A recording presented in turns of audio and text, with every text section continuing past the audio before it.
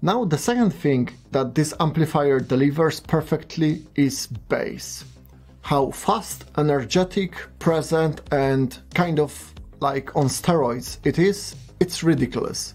In comparison to other integrated amps that I had at home, it just kicked ass. The giant bass effect is exciting to listen to.